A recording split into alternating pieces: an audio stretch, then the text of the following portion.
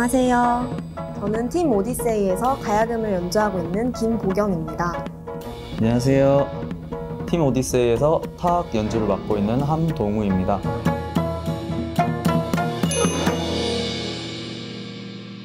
오디세이라는 뜻은 고대 그리스의 대서사시인데요. 그 단어가 가지고 있는 여정이라는 의미에 저희는 초점을 맞춰서 저희만의 음악 여정을 나아가겠다는 뜻으로 저희 팀 이름을 팀 오디세이로 짓게 되었습니다.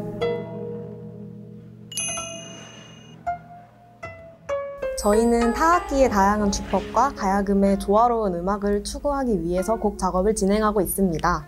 이번 오디세이라는 곡에서는 어, 서양 드럼의 리듬을 장구에 대입하여 저희만의 독특한 음악을 표현해 보았습니다.